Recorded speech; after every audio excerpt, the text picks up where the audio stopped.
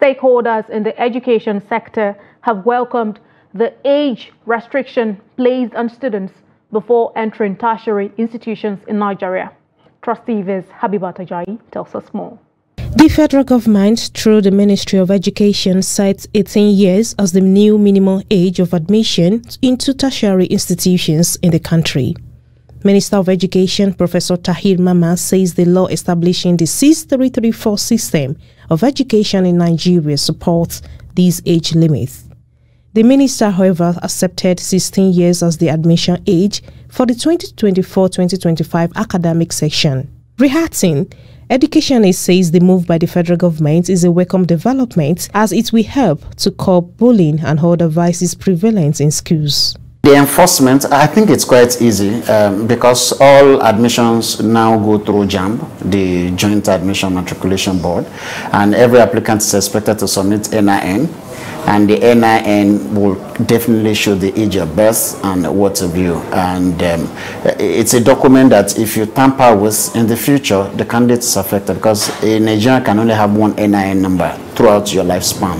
Um, so I think it's um, it's um, it's something that can be enforced if JAMB is really um, ready to enforce it. Parents, however, calling for integration of skills acquisition centers as part of the curriculum to prepare students for the ever competitive job market. What I would recommend is maybe they spend one year, two years in the madrasa memorizing the Quran, learning Arabic. And if some parents that may not be able to do that, you can also uh, send them out to learn skills. They can learn coding, robotics within those two years for them to mature enough before going to the university. They can also learn even art skills. They can learn how to bake.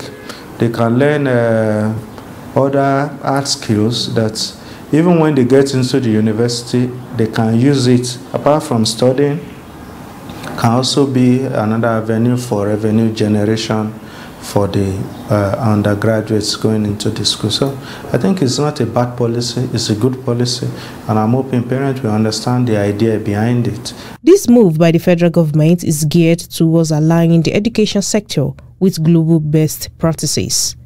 Habibat Ajayi, Trust TV News, Abuja.